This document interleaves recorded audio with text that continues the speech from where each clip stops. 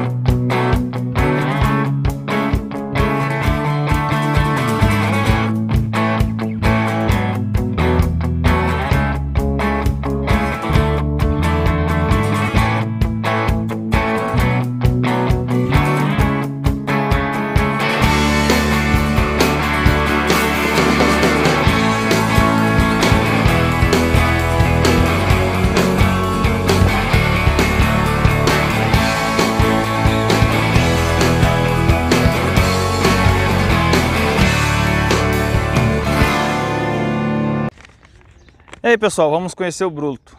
Agrale Deutsch 410, tá? Essa é uma parceria da Agrale com a Deutsch alemã, tração ZF também de origem alemã. Vamos lá, o dimensionamento do trator em questão de peso. Peso em ordem de marcha com lastro 6.040 kg, peso em ordem de marcha sem lastro 4.240 kg. As dimensões são com os rodados standard, que é esses rodados que estão aqui com pneu 34, tá? Tem outras opções, tinha outras opções de pneus também, conforme é, o fabricante apresentava na época. Também no folheto de venda diz que o jogo de contrapeso dianteiro era opcional, tá? Opcional. E o jogo de contrapeso traseiro também era item opcional, Tá? Então hoje alguém fala assim, ah Gede, mas o, o trator novo vem sem peso, não sei o que, não sei o que, em pleno 2020. Mas lá em 1994 vinha sem peso também. Tá? Os farol de serviço lá em cima era item opcional, farol com regulagem também. Tá? Então tá aí, ó, Firestone, né, pneu Firestone, é, Super Auto Traction 23, capacidade 10 lonas, 14.9, 24 é, eixo dianteiro ZF com quatro engrenagens, portas engrenagens, tradicional, né, mais conhecido. Fixação da roda, da bacia, fixação da bacia na roda, protetor de ventil, aí ó, tá? abastecimento de óleo na tração, né, neste ponto, e a este ponto é o dreno, óleo 90. Aqui já vamos dar uma olhada no pneu traseiro. Esse ainda é o pneu, é o antigão de fábrica, tá? Então é o Power Torque Goodyear 18.434, capacidade 10 lonas. Aqui na traseira tem um contrapeso, não dá para identificar bem a peso, a peso, né, ele é. Ponta de eixo tipo flange, que é essa ponta de eixo aqui, sem ajuste variável, fabricado pela Borlen Brasil. Beleza. Tem a data ali embaixo. Essa é a bacia da roda e essa é a roda. Roda estilo raiada, tem a opção de fazer o ajuste de bitola nela também. Protetor de ventil, olha lá, bem caprichado. Os contrapesos dianteiro, a gralha Deutsch. Aqui tem ó, 94, tá ali. Aí tá o eixo ZF, ó. o eixo bem conhecido, né? Não tem erro. Dreno do óleo do eixo dianteiro, aqui embaixo tem um ponto graxeiro, sistema de balança, né? Vou dar uma olhadinha do outro lado aqui também. Abastecimento e nível do óleo do eixo dianteiro. Aqui tem a data, tá pessoal?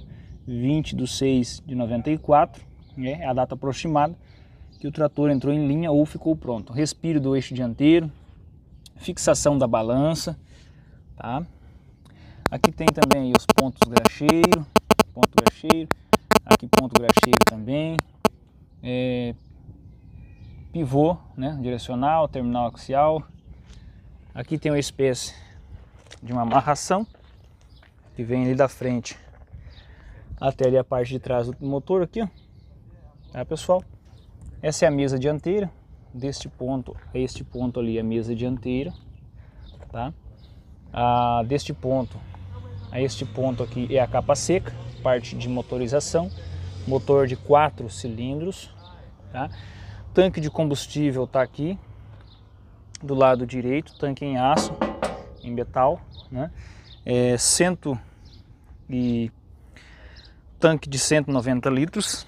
Então tá aí, tem aí a boia, né, respiro, pescador, abastecimento, motor de partida do lado direito, MWM, filtro do óleo lubrificante do motor, os dois filtros, o famoso bochinho tá aqui, alternador, né, que faz aí gerar energia e carregar a bateria, é, polido na árvore de manivelas, vira brequim, correia, saia do radiador, vareta para verificar o nível de óleo do motor,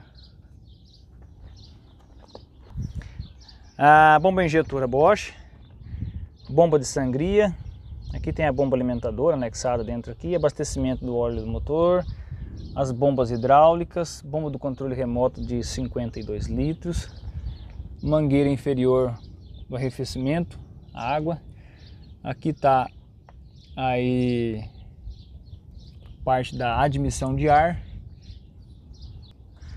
Aí tá o turbo de fábrica, tá ali, ó. Turbo simples, não é turbo variável. Filtro de ar tá escondido aqui, abre a tampa pelo lado direito. Tem um filtro primário do combustível. E a famosa bomba Bosch que o povo muito gosta. As tampas são removíveis, encaixada, né? Só puxar sai as tampas. Assim como sai a tampa dianteira também.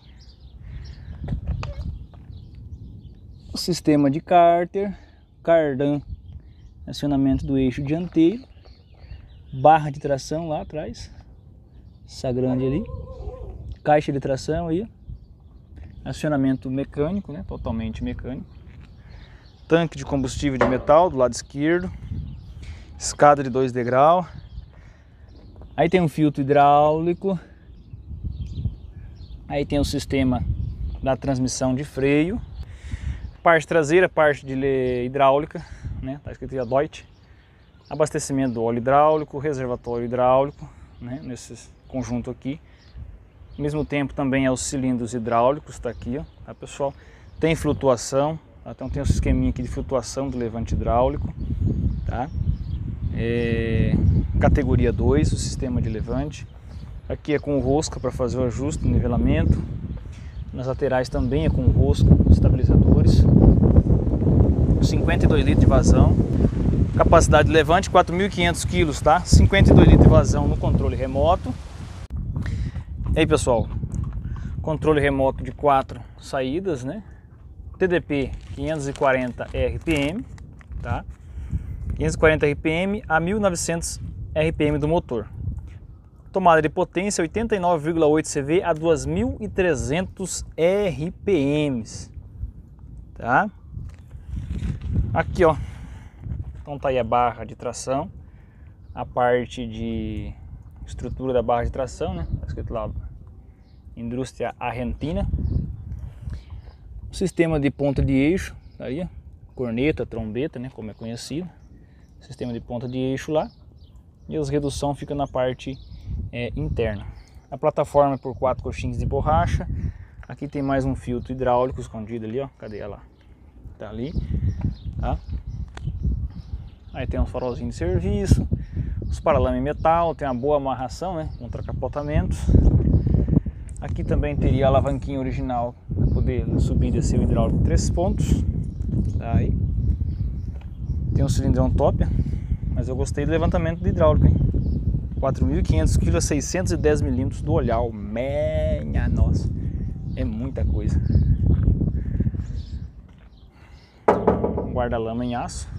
Aqui a gente poderia ter as lanterninhas né, do pisca, ficaria legal aí, meia luz.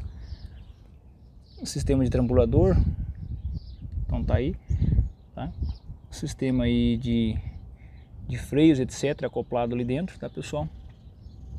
Aqui a caixa de câmbio, certo? E deste ponto ali, ó, o tanque não vai aparecer. A este ponto aqui na frente é uma capa seca, tá? Ó, deste ponto a este ponto aqui assim, tá? Beleza. Pessoal, performance do motor. Motor marca MWM TD229 EC4 Turbo. Motor de injeção direta, turbo alimentado, 4 cilindros em linha, né?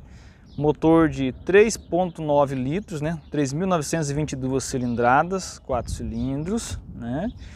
Potência efetiva líquida na norma NBR 5484 100 CV a 2.300 RPM, torque efetivo líquido NBR tá? 5484 37 Nm, beleza? A 1500 RPM, bomba injetora Bosch, radiador de água, aqui tem a entrada de ar, nas lateral também tem uma entrada de ar, entrada de ar também, dois farol, por incrível que pareça ainda é original, os dois farolzão. E aqui tem esse alongador, seria um suporte de peso e uma boca de lobo também ao mesmo tempo. Vamos ver se nós consegue abrir. Tá bem engatado. Sem a tela, tem que puxar embaixo, né, aqui, ó. As borrachas, tem uma buzininha ali. Uma bateria, a bateria original dele é 135 amperes. E tá aí o radiadorzão do bruto no limpo. Essa frente aqui é fibra, tá? Encaixa o bruto aqui, não perder de novo. Plaqueta de série, tá aí, ó. Pedal da embreagem, tá? Pedal do bloqueio, acionamento da TDP, tá aí, ó. As duas alavancas de marchas, plataforma totalmente plana. Vamos subir aqui para nós darmos uma olhada no bruto. Vou ter que sentar no banco molhado. Aqui, ó, as alavancas dos grupos, né? alavanca de marcha, tá? Quatro marcha, né? E a alavanca do grupo. Então é um, dois, quatro e três, tá? Aqui tenho liga e desliga a tração, beleza? Nesta alavanca. Aqui eu tenho a embreagem da TDP, certo? E embreagem de pé, então são uma embreagem dupla, são duas embreagens, tá? Vou guardar o facão aqui para não perder. Temperatura tem um adaptado ali, relógio das horas, tá aqui, ó. Reloginho clássico, né? Aquela versãozinha de comprido. RPM, ah, seria a temperatura original e nível de combustível. Aqui teria luz de bateria, luz farol alto, estacionamento, seta, pisca alerta, pressão de óleo e temperatura. Tá? Esse seria o botãozinho pisca alerta, estrangulador, aqui tem as setinhas, aceleradorzão de mão na alavanca, acelerador de pé, pedal do breque, tá aqui, ó. Olha lá, tem o esqueminha das marchas aqui, ó. Tá? Então é alta, média, baixa e ré. E nessa outra aqui as das marchas aí. A visão do operador. As alavancas do controle remoto, controle remoto independente, tá? E aqui os controles do levante hidráulico. Beleza? Vamos dar partida para nós ver o ronco do bruto. Acendeu as luzes, ó.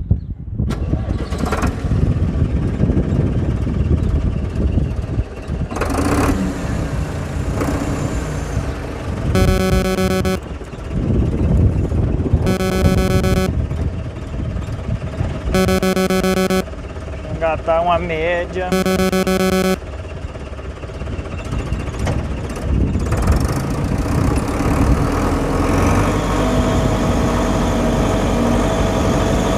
Ah, motorzão turbo, tá pessoal?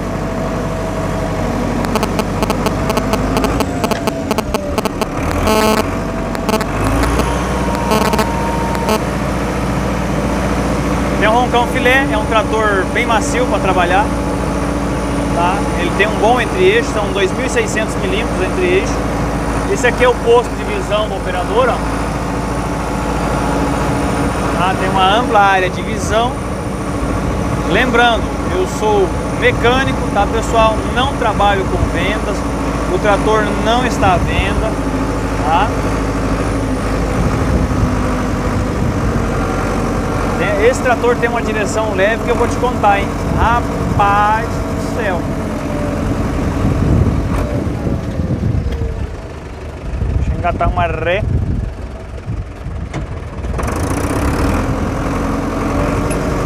O que eu mais gosto nesse trator, uma das coisas né, que mais me chama atenção é o sistema é, de painel, tá? painel de instrumentos. Se o trator fosse meu, eu faria funcionar aí a questão do relógio aqui. Eu acho incrível esse modelinho aqui. Lembra muito os carros antigos, né? Caminhonete antiga também. Aí, ó, pré-filtro de ar, tá aí, ó. Escapamento ainda é original. Traçado, né? Alguém pergunta, que trator é traçado? É traçado, tração nas quatro rodas. Tinha a versão 4x2 também.